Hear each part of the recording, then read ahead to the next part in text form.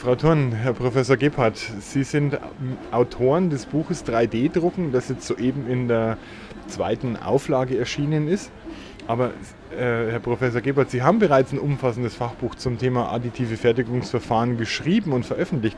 Wozu gibt es dann jetzt noch ein extra Buch zum 3D-Drucken? Sie haben es gerade gesagt, umfangreich. Das Buch hat mittlerweile über 700 Seiten. Davon sind eine ganze Reihe Seiten, technische Daten, Hintergrundinformationen, alles Dinge, die beim ersten Beschäftigen mit dem Thema den Leser nicht so sehr interessieren, die aber für das tiefe Beschäftigen mit dem Thema natürlich wichtig sind. Das heißt also, es kam der Wunsch, das Buch kompakter zu machen, übersichtlicher für den schnellen Einstieg und natürlich auch zu aktualisieren. Könnte man sagen, dass das hier vorliegende Buch so eine Art Basiswissen vermittelt, während das andere Buch Additive Fertigungsverfahren ein umfassendes Nachschlagewerk ist? Das kann man so sagen, aber es ist eben nicht als Nachschlagewerk aufgebaut, sondern tatsächlich ein, so konzipiert, dass es einen tiefen Einblick in diese Technologie der additiven Fertigungsverfahren bringt aber es hat eben auch Informationen zum Beispiel über die Firmen, die das, die, die Verfahren herstellen. Es wird ein gut Stück auch die Geschichte der Verfahren nachgezeichnet, ist also umfassender. Das hier jetzt vorliegende 3D-Druckenbuch konzentriert sich eben mehr auf den praktischen Umgang mit den Themen. Thurn, das Buch trägt ja den Untertitel Grundlagen und Anwendungen des Additive Manufacturing. Wie ist denn die Gewichtung zwischen den Anwendungen und den Grundlagen?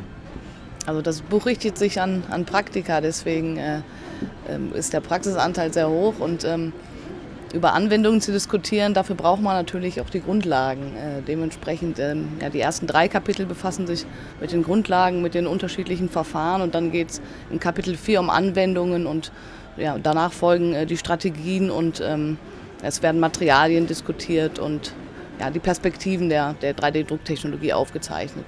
Wie schwer ist es, ein Buch über einen Themenbereich zu schreiben, der sich so schnell verändert und das mit so einer ungeheuren Dynamik?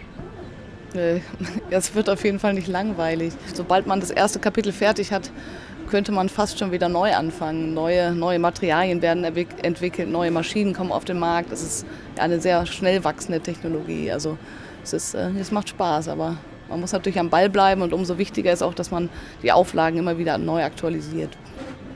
Herr Professor, was hat sich denn gegenüber der ersten Auflage alles verändert bei diesem Buch?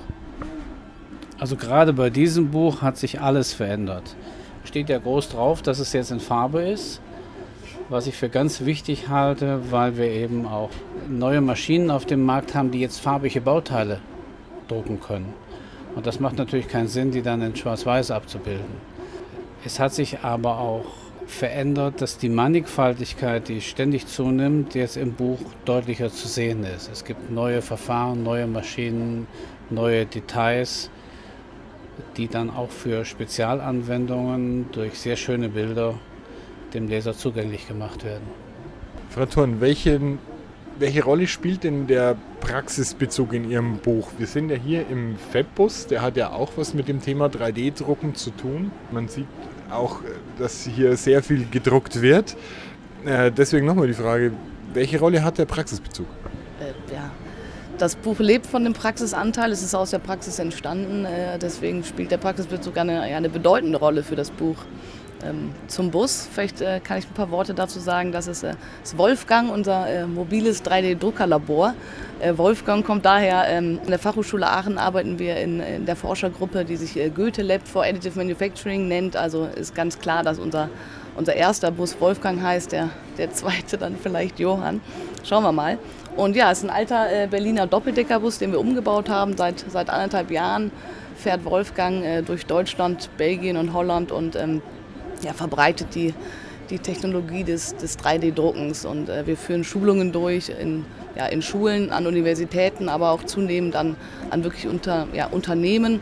Ähm, wir, wir besuchen Messen und ähm, ja, wir nutzen ähm, Wolfgang als Instrument, um die Technologie zu verbreiten und äh, möglichst vielen Interessierten die Vor- und Nachteile und auch die Chancen und Möglichkeiten vom Additive Manufacturing zu zeigen.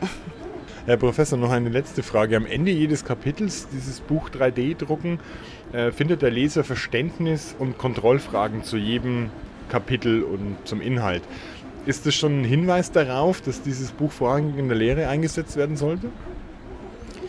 Sicherlich ist eine Motivation, dieses Buch zu schreiben gewesen, es in der Lehre als sozusagen als Textbook, als Skript zu haben, aber auch in der allgemeinen Ausbildung für Firmen, äh, Verbände und äh, auf Messen, sodass die Leute dann was mitnehmen können, dass sie quasi ein Skript haben.